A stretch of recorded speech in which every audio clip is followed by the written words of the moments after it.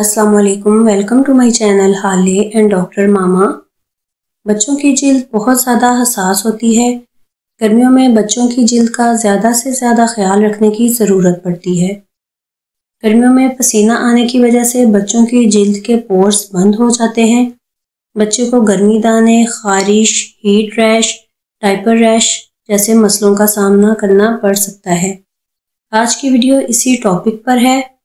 आज मैं आपसे बच्चों की गर्मियों में केयर से मुतलिक डिटेल्स शेयर करूँगी, ताकि आपके बच्चे का गर्मियों का मौसम आराम से गुजर सके।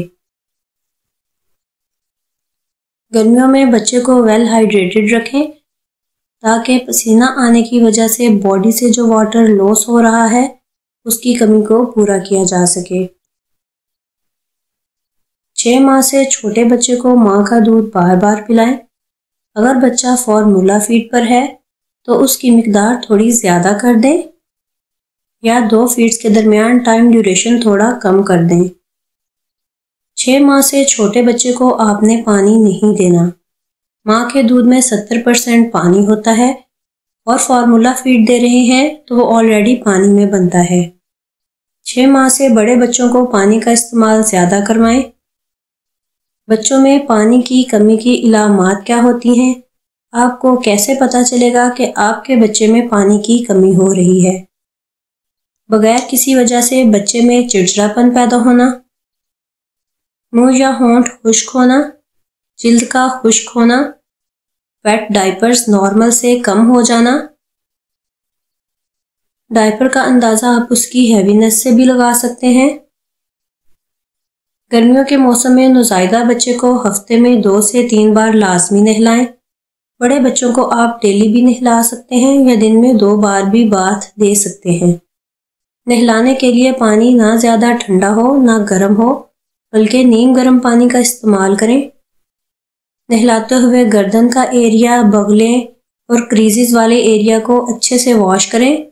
क्योंकि इन एरियाज़ में ज़्यादातर डर्ट जमा होने की वजह से रैश बनने के चांसेस होते हैं। माइल्ड सोप्स का इस्तेमाल करें। मार्केट में बहुत से बेबी प्रोडक्ट्स अवेलेबल हैं। आप उनमें से कोई भी माइल्ड प्रोडक्ट्स यूज़ कर सकते हैं, या फिर आप डव साबुन का इस्तेमाल कर सकते हैं। बहुत ज़्यादा खुशबूदार प्रोडक्ट्स केमिकल वाले साबुन, या जरासीम कश साबुन इस्तेमाल ना करें। ये बच्चे की जिल्द के लिए नुकसानदेह हो सकते हैं। नहलाने के बाद नरम तौलिए की मदद से हल्के हाथों से बच्चे को खुश करें। बच्चे को तौलिए से ज़ोर से मत रगड़ें। इससे बच्चे की स्किन डैमेज हो सकती है और बच्चे को रैश बन सकता है। हेयर ड्राई होने के बाद बेबी फ्रेंडली मॉइस्चराइज़र का इस्तेमाल करें। कोई भी प्रोडक्ट इस्तेमाल करने से पहले टेस्ट लाजमी करें। टेस्ट करने के लिए प्रोडक्ट, यानी कि साबुन, लोशन या मॉइस्चराइज़र की थोड़ी सी मकदार बच्चे के जिसम के कुछ हिस्से, जैसा कि बाजू के थोड़े से एरिया पर लगाएँ और कुछ घंटों के बाद ऑब्ज़र्व करें। अगर उस एरिया पर कोई रैश या रेडनेस डिवेलप होती है तो आपको पता चल जाएगा कि आपके बच्चे को इस प्रोडक्ट से एलर्जी है। इस टेस्ट को हम स्किन पैच टेस्ट बोलते हैं। अक्सर वालदेन का सवाल होता है कि हम अपने बच्चे को गर्मियों में मसाज कर सकते हैं? जी हाँ आप मसाज कर सकते हैं। मसाज करने के लिए कोई भी बेबी ऑयल या कोकोनट ऑयल का इस्तेमाल करें। थोड़ी मकदार में बच्चे के जिसम पर लगाएँ। आपने बहुत ज़्यादा मकदार जैसा कि विंटर्स में हम लगाते हैं, वैसे नहीं लगाना। थोड़ी सी मकदार में लगाएँ, मसाज करें और मसाज करने के 20 से 30 मिनट के बाद बच्चे को नहला दें। नहलाने के बाद हरगिज जिसम या सर पर ऑयल मत लगाएँ।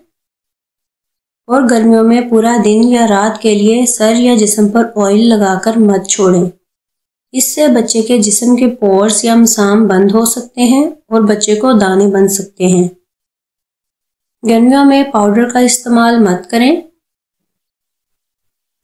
गर्मी के मौसम में बच्चे को कॉटन के खुले कपड़े लाइट कलर्स के कपड़े ब्रीदेबल स्टफ़ जिसमें से हवा गुजर सके, पहनाएँ। पूरे कपड़े पहना कर रखें। शॉर्ट्स या स्लीवलेस कपड़ों का इस्तेमाल कम करें ताकि डायरेक्ट हीट से बचा जा सके। गर्मी में बच्चों की स्किन डल हो जाती है, उनकी फेयरनेस कम हो जाती है। बच्चे को टैनिंग से बचाने के लिए हीट रैश से बचाने के लिए कभी भी डायरेक्ट धूप में लेकर मत जाएँ। बाहर जाने के लिए या खेलने के लिए अर्ली मॉर्निंग या शाम के वक्त का इंतखब करें। छः माह से छोटे बच्चे को डायरेक्ट धूप में लेकर मत जाएँ। सर पर सन कैप का इस्तेमाल करें और बड़े बच्चों को बाहर ले जाते हुए सन ब्लॉक का इस्तेमाल करें। ख़ास तौर पर एक्सपोज एरिया पर सन ब्लॉक लाजमी इस्तेमाल करें। सन ब्लॉक का इंतखब करते हुए उसकी एस पी एफ़ का ध्यान रखें कि वो थर्टी या थर्टी से ज़्यादा हो। गर्मी में बच्चों को डायपर रैश से बचाने के लिए ज़्यादा से ज़्यादा डायपर फ्री टाइम दें और डायपर्स हर दो से तीन घंटे के बाद लाजमी तब्दील करें। नेपी एरिया को पानी से अच्छे से साफ़ करें और एयर ड्राई होने दें। वाइप्स वगैरह का इस्तेमाल ख़ास तौर पर जो अल्कोहल बेस्ड होते हैं, वो बच्चे की स्किन पर मत इस्तेमाल करें, क्योंकि वह बच्चे की जल्द के लिए डैमेजिंग हो सकते हैं। ड्राई होने के बाद नेपी एरिया पर मॉइस्चराइज़र का इस्तेमाल करें, और अगर नेपी एरिया पर कोई रैश बन गया है तो उसके लिए आप कोई भी क्रीम जिसमें जिंक ऑक्साइड पेस्ट हो, जैसा कि सूडो क्रीम वगैरह का इस्तेमाल कर सकते हैं। स्टीराइड्स या जरासीम कश अद्वियात का इस्तेमाल नेपी एरिया पर हरगिज मत करें। बच्चों को ठंडी जगह पर रखें। पेरेंट्स का सवाल होता है, क्या छोटे बच्चों को एसी या कूलर की हवा में रख सकते हैं? जी हाँ आप रख सकते हैं।